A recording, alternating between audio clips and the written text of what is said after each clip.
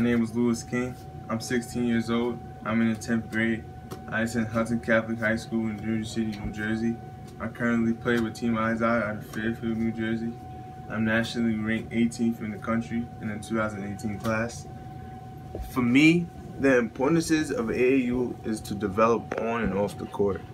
AAU is also important because it teaches you what the reward would be when you put in hard work and dedication.